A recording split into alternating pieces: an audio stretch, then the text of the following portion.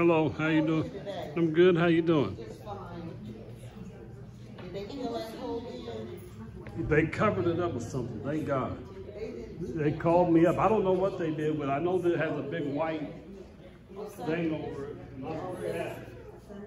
You got more hair than I got, Pastor.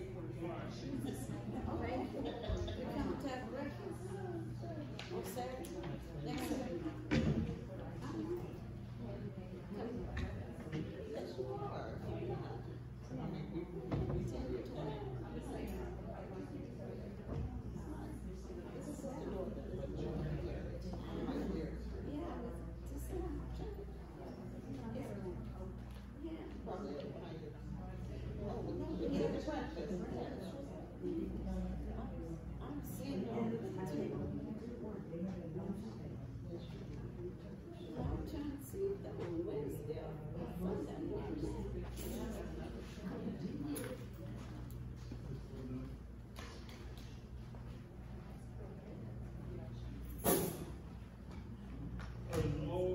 Praise the Lord. See everyone. Hope y'all had a good evening today. I'm gonna be in First Timothy the sixth chapter.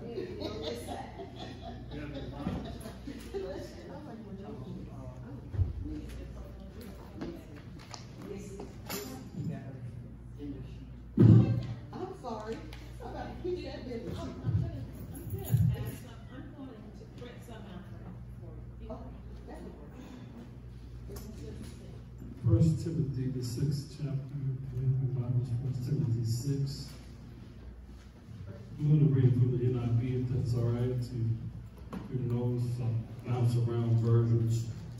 Uh, I do that because uh, different versions uh, tend to render a meaning a little bit better with the wording. So, so this one, I'm going to start.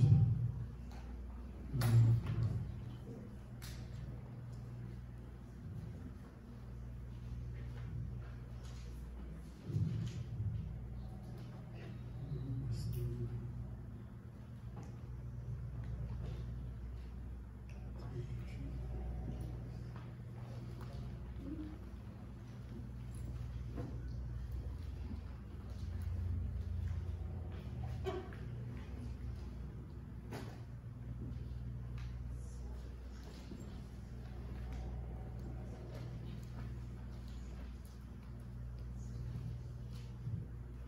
I'll read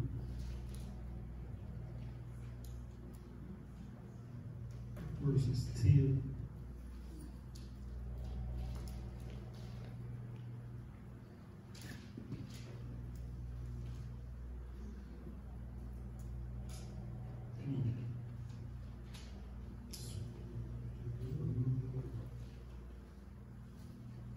Verses 6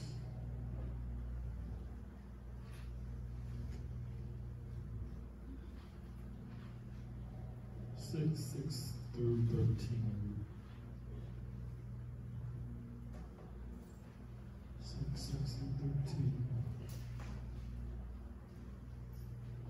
Uh, it reads, uh, but godliness with contentment is great gain. Somebody say great gain. Great game. For we brought nothing into the world, and we can take nothing out. But if we have food and clothing, we will be content with that. Those who want to be rich, those who want to get rich, fall into temptation and a trap and into many foolish and harmful desires that plunge people into ruin and destruction. Verse 10 For the love of money is the root of all kinds of evil. The love of money. Some people eager for money have wandered from the faith and pierced themselves with many griefs. But you, man of God, flee from all this and pursue righteousness, godliness, faith, love, endurance, and gentleness. Fight the good fight of faith. Take hold of eternal life to which you were called when you were made when you made your good confession in the presence of many witnesses. Hopefully, when you got saved, you, you made a confession and told somebody about it. So I'm walking with Jesus now. In the sight of God who gives life to everything, and of Jesus who will testify, who while testifying before Pontius Pilate made the good confession. I charge you. This is a challenge, I believe. Uh, we spent a few weeks talking and touching on uh, godly riches versus worldly riches. And we, um, I think we started with um, the deceitfulness of riches. And last week we talked about uh, riches versus poverty out of, Proverbs 38 through 9. And we pointed out that money can trick you. It will trick you, and it has the capacity to be deceitful. It promises something that, that it, uh, it cannot cash. It writes a check that it cannot cash. And we touched on various things, how money can make a person feel contrary to what is reality.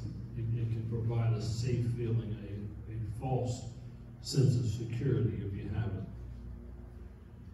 This uh, week, Bible study, uh, I want to talk about if you want to be rich. If you want to be rich, not everyone wants to be rich. Um, but there are those who are saved who want to be rich. They, as the Bible says, they, they desire to be rich. And, and it tells us um, that they fall into a temptation and a snare. That, that the people who desire to be rich fall into a temptation and a snare. And I've got some good commentary from my, my beat up commentary here that I want to share with you. But that word desire is a strong word. It's, it's not a small word, a, a word we should roll right over. Um, ask my wife, are you hungry? She said, yes. Maybe something to eat? Yes. But if she says that she desires a bacon cheeseburger, I said, whoa. Desire it. Well, something's going on. The idea of bacon is dancing in her head, you know. But when we desire something, I think it's safe to say that we have taken it to another level.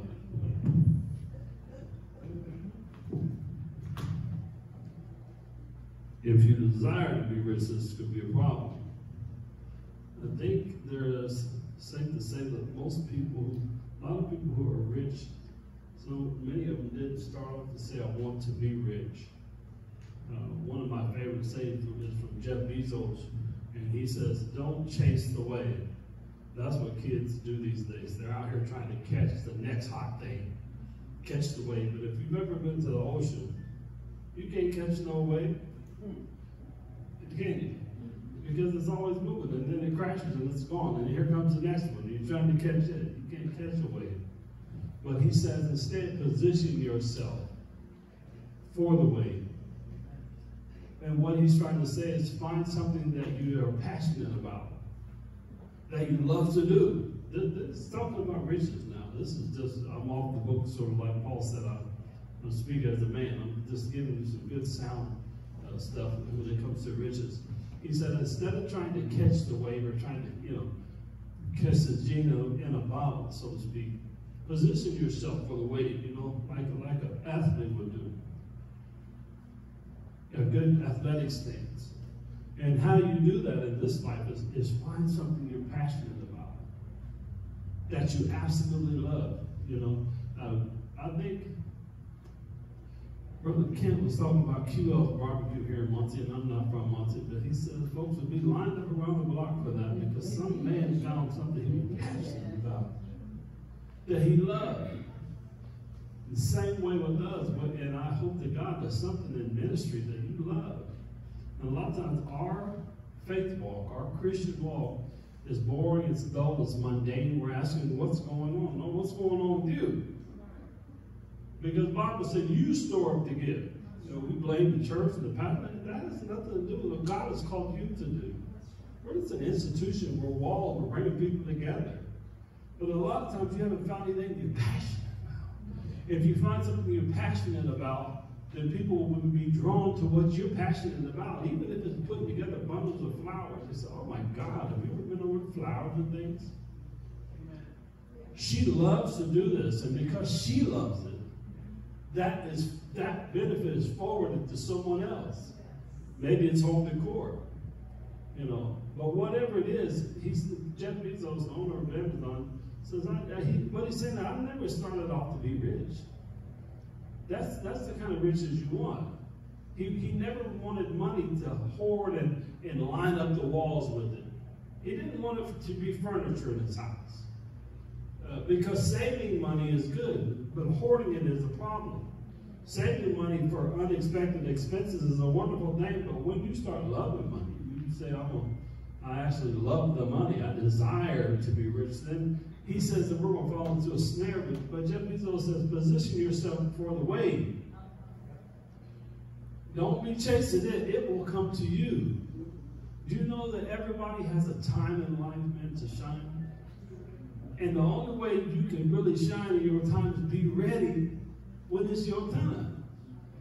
You know, be ready when it's your time. When I came here in ministry, I said, you know, I didn't ask to preach or nothing. I just came to church. I wasn't trying to fight my way into the pulpit. And when he asked me to preach, I said, Are you sure?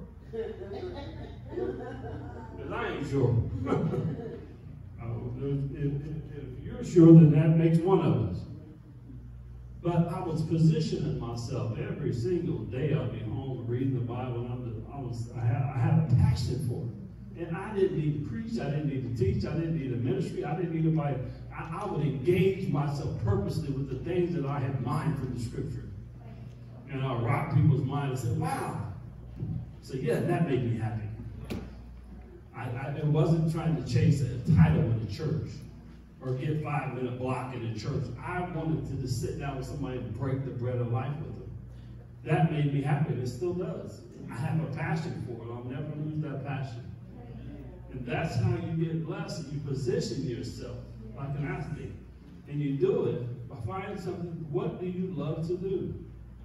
And when you love to do it, hey, if you don't love it, why would anybody else love it? Sometimes some people say, hey, I want you to try this recipe. It is amazing. Yeah, you, you love it, don't you? so you want to share that passionate thing with someone else. You know, if you love to sew, if you love to put clothes together, if you love home decor, a lot of times people are trying to sell you something that they don't even love. Poor salesman. You know, so Paul tells Timothy in this chapter book, he tells him, stir up the gift of God within you. Everybody has some beans and meat and sauce and seasonings in the bottom of their pot. That God has put in there, we call it gifts. The Bible says that he, God has given to each man a portion according to the stature and the fullness of Christ. Just what God wanted us to have is what you got. And no one's gift is better than yours. You talk about a guy who who loved logistics and business. Those classes we typically run from economics and stuff, don't we? But, but he loved it. And he, he became rich from it because he loved what he did. He wasn't trying to get rich. But we're talking about those who would be rich. Those who desire to be rich, they, they, they don't desire to make a great burger. They don't really want, they don't want the, they don't, they don't love what they do. And I hope you can relate this to Christianity in your walk with God, because if that is the case, then you need to try to read, you know, sometimes in, a, in a corporation, they'll go in and they'll just throw stuff out and say, we're, we're starting from scratch. This company's got off the wrong foot, and we're bringing some people in, we're to try something new. There's pizza, pizza on Thursdays, and we're leaving early on Fridays because nobody liked that last ball, so let's, let's just clean the table. And sometimes when you walk with God, if you're if you're not if you're stagnant, if you're not blessing someone else, and if you're not loving what you do, clean the table off. Clean the table off and said, Lord, you know, return me to my first love. Return me to my first love. Because if you're not passionate about it, if you don't love a thing, no one else is gonna love it. No one else will love it. My mother loved kids. When she was five years old, she told everybody in our family, in her family, that, that she was gonna have 15 kids. I, this is the God's honest truth. Everybody knows in my family. She had 15 kids. Matter of fact, she had 16. One of them died between my brother Gerald and, and David, the stillborn. But she did it, she was passionate. She loved kids. She loved kids. You know, and, and she did what she was passionate about. And I remember our house as being a place where everybody would come. Everybody. And people stayed and lived there. And some days I'd walk and God would be walking out. Who is this man?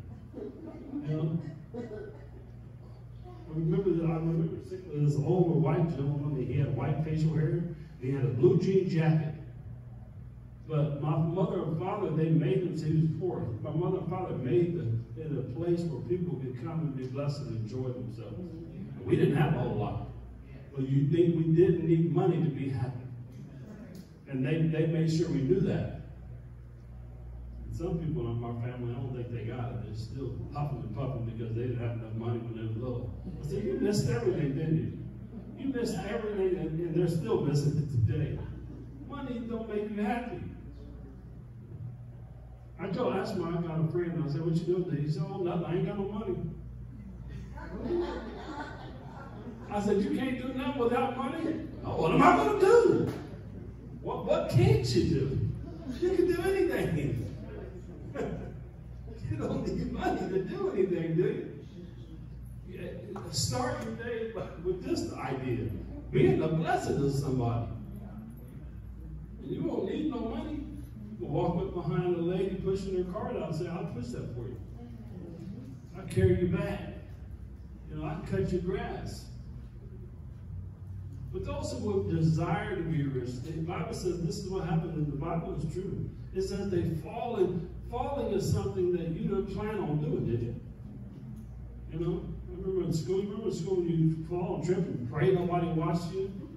And if you did, your friends were the first ones to laugh you out of town. But but no one who is chasing money said, you know, I'm looking forward to money really tripping me up. You I, I, messing up my, my, my mind and my life. I'm chasing this money. No, they it, it was an accidental thing. They didn't see it. And we already talked about in my first lesson that money is deceitful. If you really want money, set your mind on working for a long time and being disciplined with the stuff that you have. And no one wants to hear that, do they? So I thought, I got these numbers. I've been playing these numbers, Pastor. Well, good luck. because I don't know if those numbers are going to get you what you want. If you want to be rich, work on working hard for a long time. You know, uh, Bishop, Bishop, you got a nice house. And I don't want to hear you talking, Bishop, because you got a nice house and, and you got a nice car and you got money. And you worked for General Motors for 40 years. He didn't get he didn't get 40 lottery cards. He, he set his mind that he was going to be stable, God bless you, that he was going to be blessed, and that he knew exactly how it was going to work. He didn't set his mind on being rich. He set, he set his mind on doing something well. He became a, a, a, skilled tradesman or something there General Motors, and he set his mind on doing something I'm enjoying, even in the confines of his own job. Sometimes at your job, you got to say, I'm doing something different at this job. Is anything else available? You know, I used to do this, but I just want to know, are you sure? Now, now they hire people for the sole purpose of coming into a company and get people in the right place. I know that because I know a guy here once that they hired to do it. His job is to look at people and find out do they love what they do. And, and it, it, becomes a humongous blessing to a company because there's nothing like having people out of place in the company or church. who are doing stuff, one, that they don't love, and they ain't no good at it. If you want to be rich, that's the title of the lesson. You don't stroll in here late. First Corinthians, First Timothy 6. First Timothy 6. If you want to be rich, that's what the Bible said, okay? Um,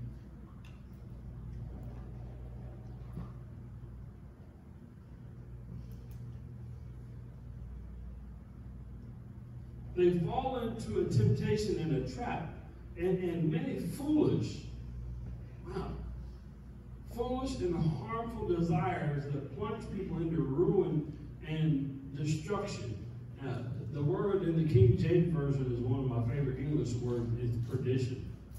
Tom Hanks has a movie called The Road to Perdition. But perdition is not a good thing. It's a bad place. You don't want to be in perdition. Okay? But but but money, and, and if you want to weigh this against the multitude of ways that people are trying to make money and the millions of uh, advertisers that tell you you can get rich quick, just do it. Because everywhere you look at, there's a scheme for you to make a whole bunch of money this year and surpass working hard for 30 years like every other person that actually got something. All you got to do is just give me $300. You give me $300, I'm going to show you how to do it. You can give them 150 and they couldn't tell you the first step. Because the best things in life come in flower over time. And you might as well just buckle in and get ready and say, I'm going to be working for a while. And I got guys, I work with guys that say, you know, at Duke, they said, we've been here 35 years, I got three years left. I said, there you go, it's right around the corner. They ain't talking about we about to get some lottery tickets. They said, we'll be back here tomorrow. Like we've been back here for 30 years. Sister Janice worked hard and she put in many years and she retired recently. What a blessing. Yeah, are But she, she, she wouldn't stop on her job and say, give me five minutes so we get these lottery tickets, because you never know. Bible says they fall into foolish things. And, and you ever, I got a cousin, and every week he got another get rich scheme going. I'm going to tell him, hey, I know how you can get rich. Get a job and go to work. And keep on going to work. And if you look up in about seven years, you'll have a whole bunch of money. Yeah, do that. And be disciplined with the things that you have. But, but money offers itself often on, on, on, the, on the bed of deceit. I'm going to offer you, I'm going to give you something. Remember, we, we acknowledge that sin is like that in general. But money is particular like that. You know. So let's just touch on a few things about wanting to be rich. The, the world of advertising is full of get rich schemes, most of which benefit the person who's advertising. Some years ago, uh, I fell for it. So I sent somebody 40 or $50 over in Africa. And no sooner than I had hit the button on Western Union, the Lord, in his omnipotence, shook his head. So you'll never see that money again. I don't know what country in Uganda you sent that money to, but you'll never get that back. So don't do that again. That was foolish. And, and, I, and I thought to myself, man, I had to work for how many hours did it take me to make that fifty dollars? and I'm throwing it away doing foolish stuff. And the amount of time it took me, because I remember I had to go to home and I did some stuff on the computer, go here and go there. And the time was several hours because time is money. But the Bible says that those who be rich, they fall into foolish things that don't make no kind of sense. We have 15 kids and, and, and my, my 14 brothers and sisters, and I can just imagine every week my dad coming home talking about, Betty, uh, I got something else I'm going to try. This week I'm going to be a blues player would have been skin and bones walking around our house. No, he went to work every day. I got to go to work to get money. But what would have been foolish was thinking that he was going to raise 15 kids on, on a get rich quick scheme. And if you think these names are foolish, they are foolish, but there's a whole lot of people that's taking the hook, line, and sinker to that. Yes. Hook, line, and sinker. Okay? Um, these things seem foolish, but it's clear that they are tempting. You have to be honest. That they're foolish. You know they're foolish. We know they don't make no sense. But back in your mind, you have to be honest enough to say, some of this stuff is a little tempting. There's always that thought that maybe, what if that one in a hundred hits? One in a hundred? That is a horrible percentage. But yet there's something in us as humans that thinks, you know, yeah, maybe. Maybe this can happen. You ever seen that movie Dumb and Dumber?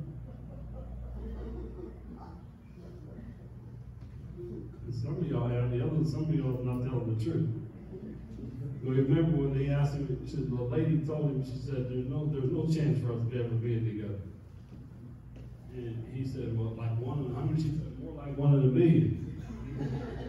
And said, so you're saying I've got a chance?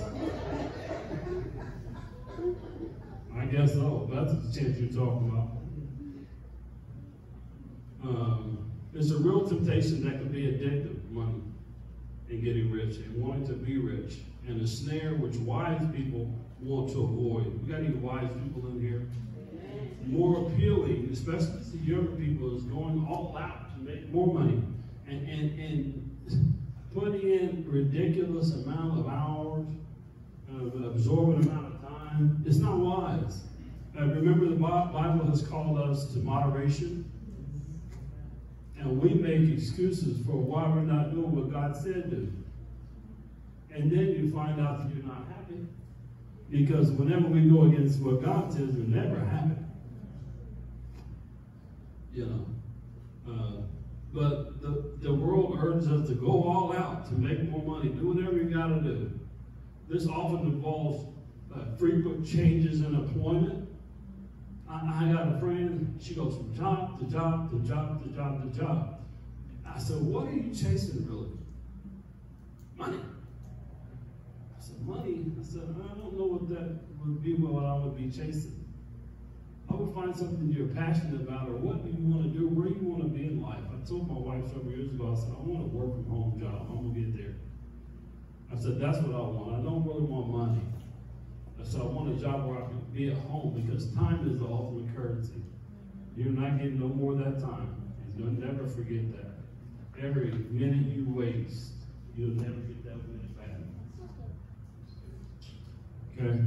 Um, but the world tells us taking on additional jobs which create stress and no quality time in your life, no joy, that this is this is the age that we live in coming home not happy. God don't want us to live like that. He don't want us to live like that. Career progression is important, I think, and, and a reward for honest work is a proper expectation, surely. Uh, the Bible commends honest work uh, to provide for oneself, First Thessalonians 3 and 10 to 12, and one's family and, and it also, uh, Second Thessalonians 3, it also rebukes people who don't take care of their family. So uh, it, it, says, I believe that that person is worse than an unbeliever. So, wow, that's rough. Worse than an unbeliever? Yeah, God don't like lazy. He don't like lazy. But in the same breath, we're talking about those who want to be rich and the troubles that it can bring about. Okay. It, it, it is not that money itself is the problem. What is it? You know what it is. The love of money. As our verse states, money is necessary and it is useful as a means to an end. That's what it is. It's a means to an end. And if you want to know how frivolous it is, just try to rip it. See how easy it rips from top to bottom. it crumbles up, it, it, will it'll fold up, and it's easy to dispose of because it, it is supposed to be simply a means to an end. Money is for using. How many believe that?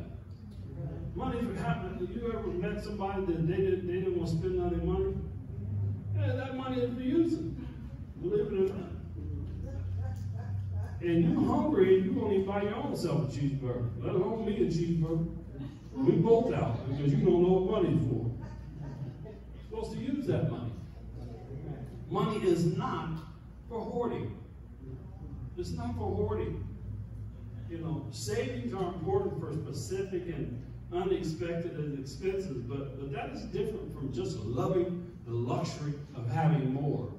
Because we live in a country where I told you, 50% uh, of all the money is in the hands of 1% of the people. So we quickly understand that they're not giving up their money. And they couldn't spend a hundred million dollars of it, let alone six billion dollars. And people are dying and suffering and sick, and they won't come off of it. Isn't that odd? Isn't it strange? Isn't it horrible? I think it is.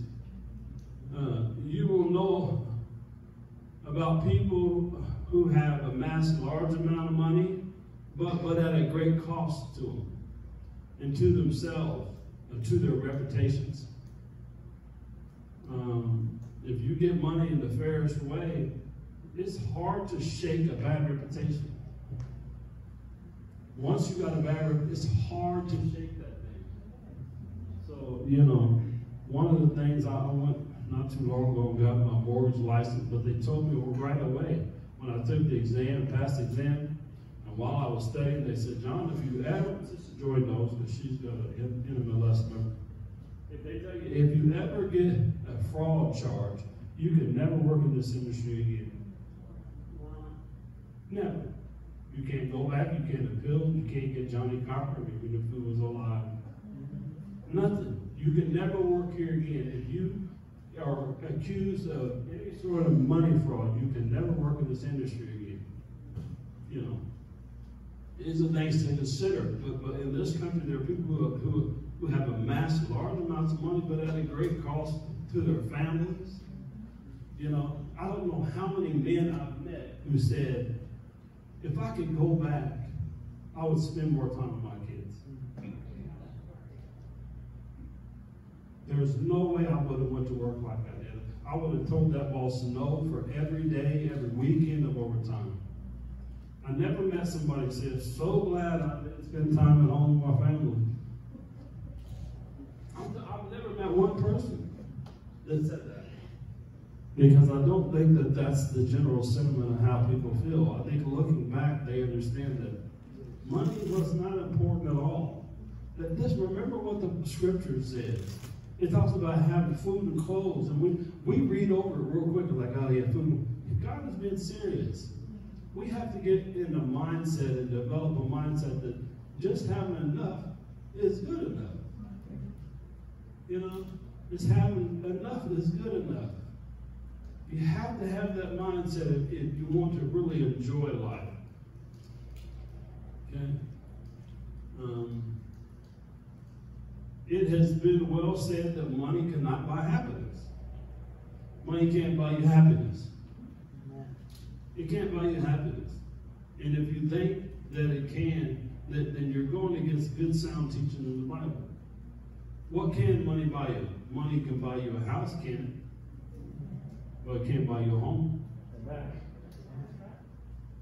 Luther said a house is not a home.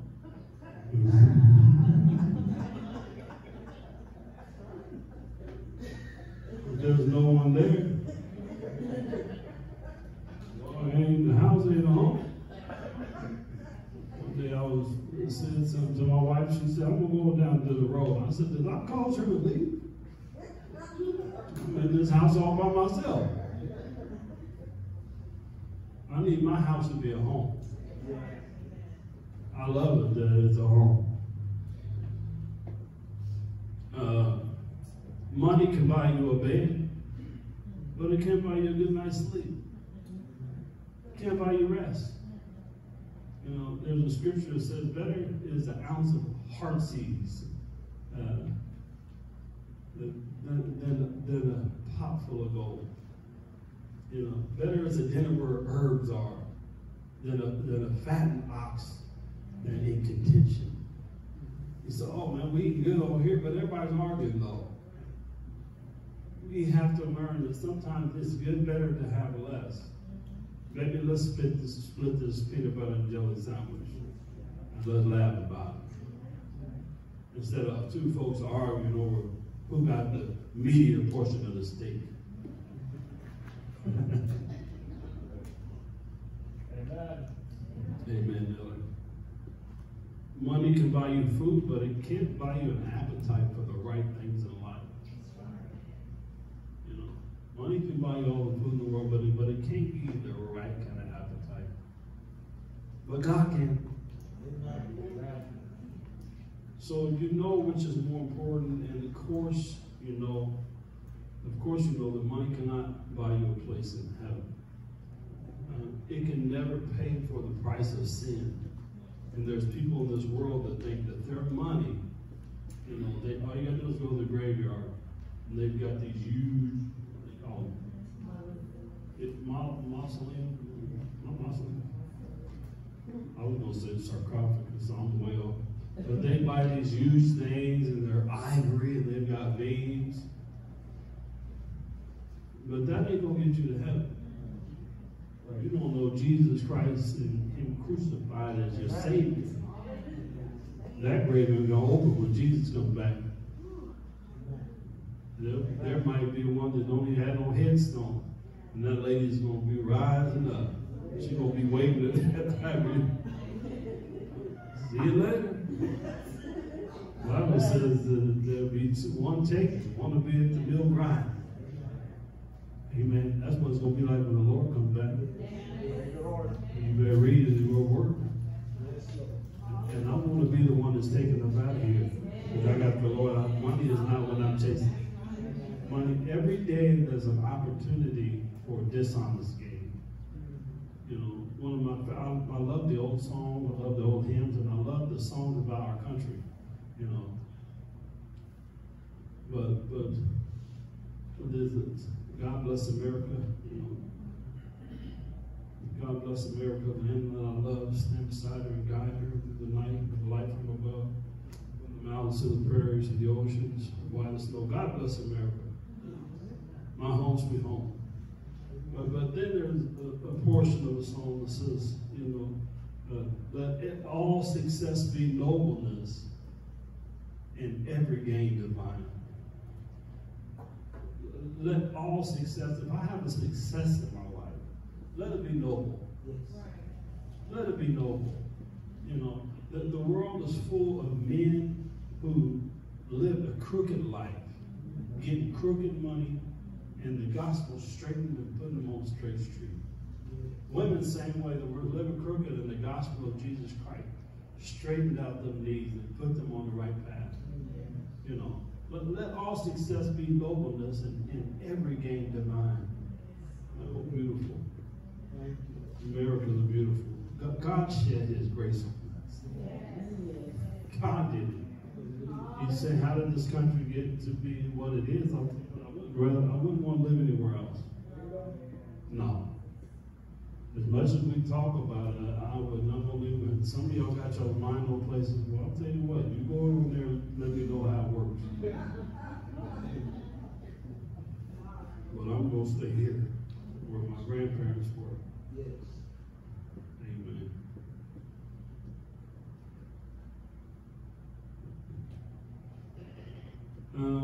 1 Peter 1 and 18, remember he says that it is not corruptible things that like silver or gold that bought you.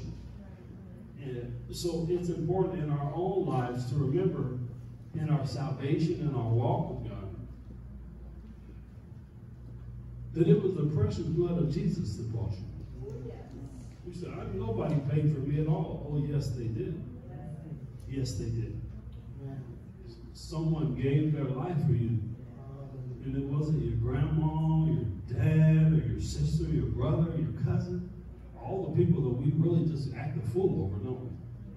But the one who really gave it all was Jesus Christ.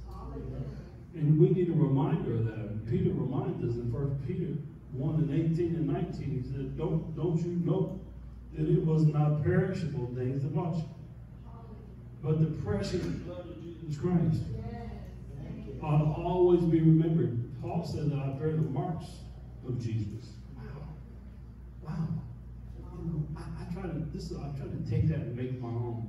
Whenever I'm being persecuted for my faith or something, I want the world to know that I bear marks of Jesus Christ on my body, on my person. I may not got beat with a cat of nine tails, but I put up with a lot of stuff and a lot of people because of the faith that I have. Amen. Everybody say amen. You should hope you put up with stuff. You ain't saved if you ain't put up it. Because there's a difference between dark and light. There ought to be. You know. But it's, it's, it's, a course that we ought to take, we ought to remember.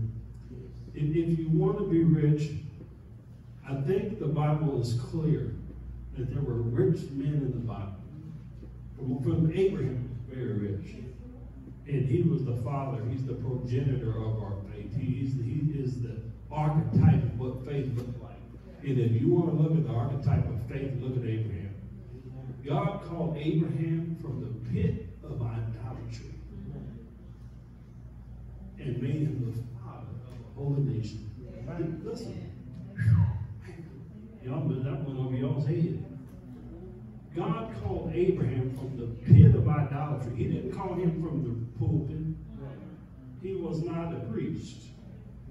He called him from the murk and the mud of sin and idolatry and shame and lies and foolishness. And God made him the father of a holy nation.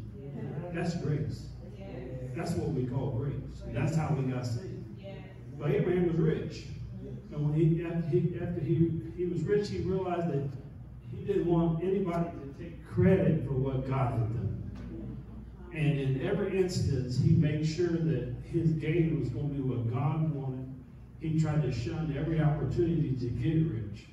You remember uh, Melchizedek, the priest of the Most High God, when he had an encounter, he, he let him know he didn't want to take a name because he didn't want anybody to say that they had made him rich. He knew where his help come from. And a lot of times we, we're struggling financially because we don't know where our help comes from. The way, the way you can leave one job in a good way, go to the next, is when you realize God got me. God got me, and He's leading me somewhere else. You know, when I left General Motors a few months ago, brother said, You ain't gonna make that type of money no more.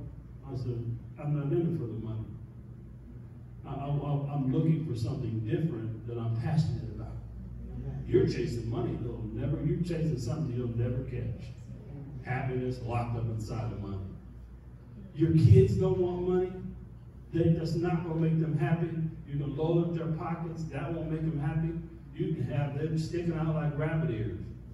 And then they'll look and say, I'm not having no fun. because money don't won't do that. I'm telling you. But trusting the Lord and following Him and bringing Him into our careers, which is a place we rarely bring God to. We separate church and godliness and holiness, and we put it all over here, and then we say, then I have my career and my friends. God never designed your life to be like He wants to be a part of everything that you do.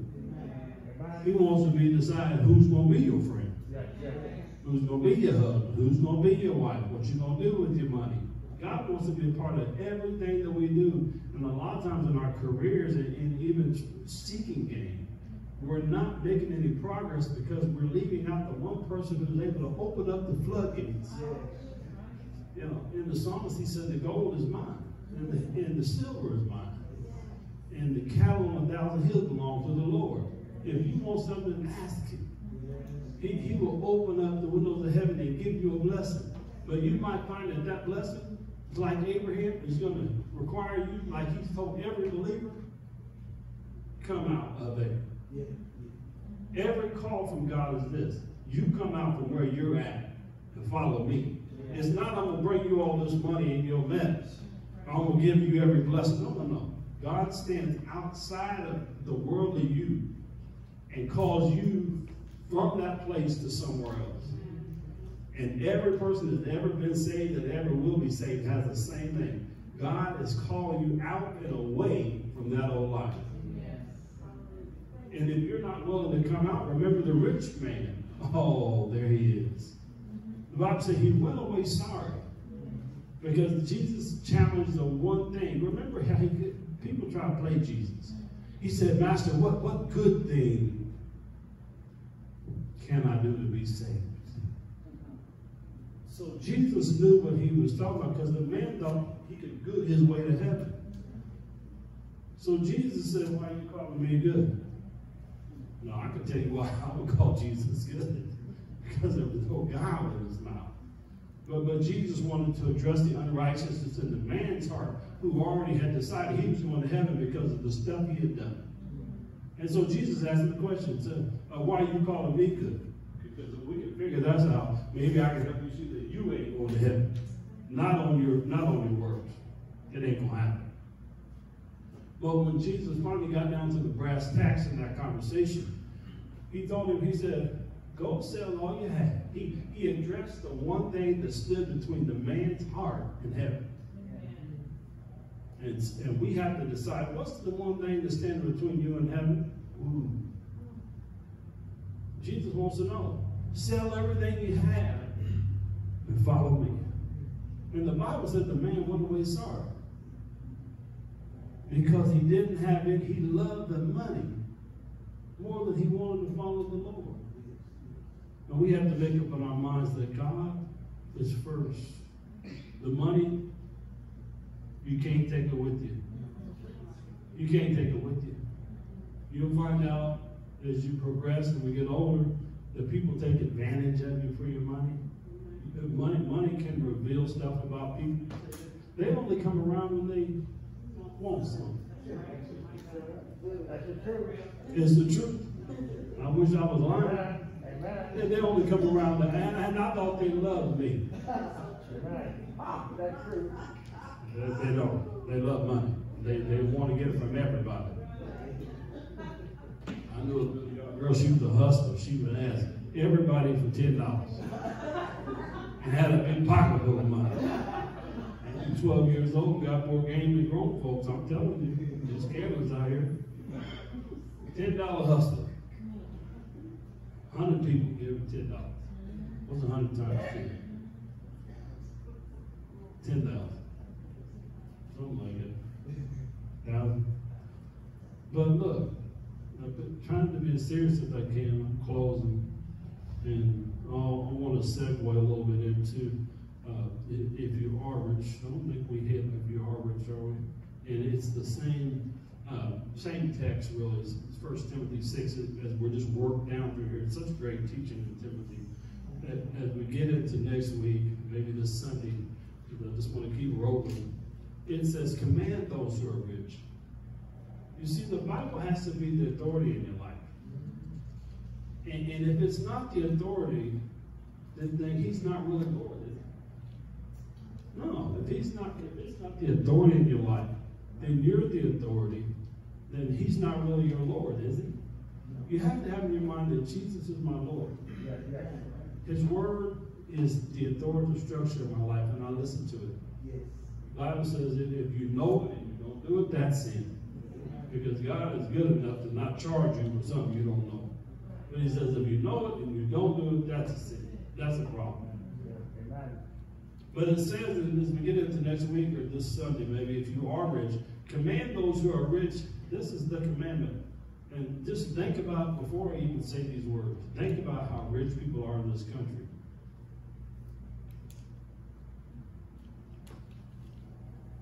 how would they be characterized, the rich people in this country? You ever watch uh, the Kardashians? I, I only got one honest person. My sister-in-law is the only person who's being honest today. Come on, Chris Darnell. Me and you gonna sit together. Nobody else watching these reality shows. Stop it! I'm know some of y'all ain't got hooked and drawn in. You ain't got to be ashamed here. Pastor ain't ashamed. You better not be ashamed. I'll tell the truth. But this is what the Bible says, and we'll, we'll, we'll, sort of measure them up against the Kardashians. Never thought I'd say that. All the depth and the riches and the wisdom of God. I'm in search of all his ways. That's fine. Romans 11 33. Command those who are rich uh, not to be haughty. Aren't, aren't rich people haughty? You know, there's an air about them when they're rich. You know, don't, don't, don't come too close. You might scratch them all watch. Well, can't. You're wise. This is what the Lord says. If you're a Christian and you got money, don't act like the world. Don't be haughty and don't do this. Don't trust in uncertain riches, but in the living God who gives us richly all things to enjoy. You know, and, and even if you you broken off, if you ship a few fruits from the rich tree, and you ain't got the whole tree yet, if you got a little riches, don't let it make you be hard. You know, it, you ain't got to be Donald Trump to get this lesson. Some of us, we got a little money, and then, then we stop being kind and giving and open and loving. You know? Amen. Amen. You know, if you God bless you with a new car, you can still give somebody a ride. You say, I don't want them to poke that leather seat. If you get that attitude, God gonna let you poke that leather seat. That's the kind of God we serve. if you will act all funny about that leather seat and how it smells and all that, God will let the baby throw up. This is the God we serve. He, he don't like a, a, a prideful spirit. You know, he wants to he wants to keep us on, on an even kill. And, and really, more than anything, as children of God. If you ain't saved, you know, we just let it rip because the spirit ain't working in you anyway. But if God, if you are a saved child of God, God wants to bring these lessons home to us. He's our Father. And He's a good Father. But next week, we're going to get into the that a little bit, and we find out first that it is never a good thing to be proud and haughty. As a church, please accept this from the pastor. Don't tell people you're godly proud. There's no godly pride. All pride is hellish.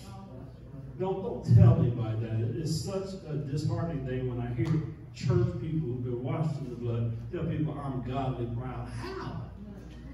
Where did you get, where, how did you put God and pride together and let it come out of your mouth? You gotta be ashamed of yourself. This is what you ought to say. I'm thankful. It takes the all praise and the glory off of me, which I was trying to get anyway. When I say it, when I say it. And I put it back on the God who, who gives all things, as he says, richly to enjoy. Don't tell nobody you godly proud. You godly mind is what you do. That's what you do when you got it line. You, you devil. But don't tell him that. Don't lie to him. God is not proud. The Bible says he resists the proud. But he gives grace to the humble. And you say, oh, you know what I mean. The Bible says you're ensnared by the words of your mouth. So you have to speak those things that aren't, even if it ain't there. Just keep on saying it. You have power, and life and death is locked up in your tongue. Oh, and if you don't start speaking the things that aren't there, they may never come to pass. I was telling myself something today that, that hadn't necessarily come to pass, and the Lord said, don't forget the principles of faith. These ain't principles of the Marine Corps. These are principles that trickle down from heaven. I tell you, open your mouth and declare those things. You declare those things. Don't let the devil trip you up about what God said.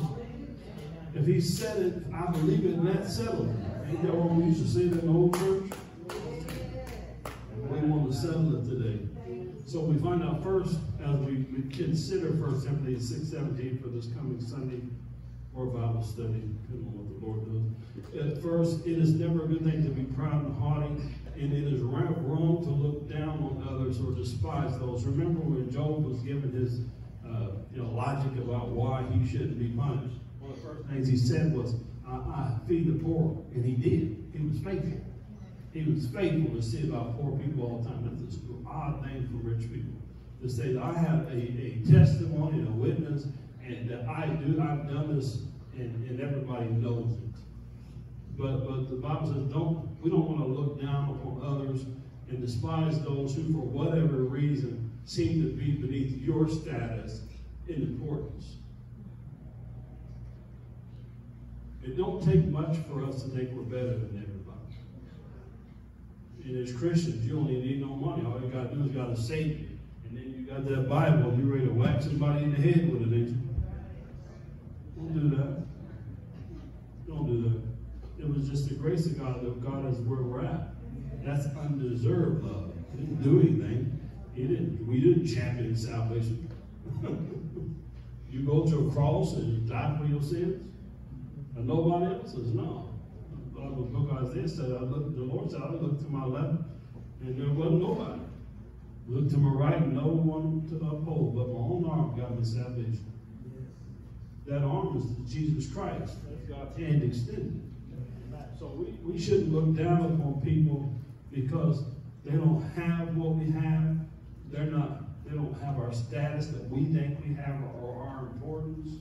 You have to be very careful in the world that we live in today because we live in a wicked and perverse generation. Oh, and we can think that we are better than people who even are sinners. Look, man, it's just the grace of God.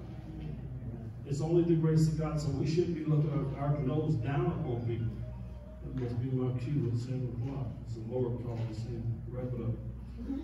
Okay. Love you all. I want you to keep on serving God, keep on loving. Let's bow our heads in word of prayer. Heavenly Father, we love you. We thank you for being our Father. We call on you today, we cry, Abba, Father. Hallelujah. We have need of today. We got some Abba, Father prayers in here tonight that need to go up. And we speak them in the name of Jesus as a corporation, as your body, as your hand extended here on earth. We ask that you just loose revelation and knowledge, gifting, and understanding. Uh, Lord Jesus, whatever has uh, been loosed in heaven, we ask you to loose it here on earth. And we bind the things that ought not be in our lives that are already bound in earth by your word. Hallelujah. We decree and declare the legal power, Lord Jesus, to speak those things that aren't though they were in the name of Jesus. We thank you for power. Thank you for the Holy Spirit, the greatest power on earth today that we have it locked up inside of us. Uh, we have this treasure in earthen vessels that the excellency of the power uh, may not be of us, but of God. Help us to see the excellency that God has placed in. Hallelujah. The devil is a liar today. He's a liar. He's a big fat liar. But we thank you for being who you are, holy, undefiled, good, kind, just, full of mercy and grace. Hallelujah. Without impartiality, Lord. Give us the wisdom that we need to have money. We ask right now that each person in here may have a newfound understanding of what it takes to, to have money and to have wealth. Help us, Lord Jesus, to obtain the homes that we need, the cars that we need uh, for our children. Uh, this is not just a flippant lesson or a didactic lesson, but we want these things to come to pass. And we are done expounding on these things. We are going to loose Lord Jesus, the blessings that have already been loosed in heaven, we're going to loose them here on earth by the power of your word today. Devil, you're a liar. We put you under our feet today. And we speak prosperity, Lord Jesus, in the lives of every person in here. Spiritual prosperity, psychological prosperity, hallelujah. Emotional prosperity, spiritual prosperity, physical prosperity, hallelujah. We thank you. It is so in the name of Jesus. Hallelujah. Lord Jesus, we thank you. Devil, you have no power here. We thank you, Lord, for who you are, what you're able to do. Strengthen these things that remain. Father, we bless you. In Jesus' name. Love somebody. Tell them you love them. Tell them they're blessed. Tell them they're prosperous. Tell somebody money cometh in the name of Jesus. Hallelujah. Money cometh. And then you reach in your pocket and give them some money.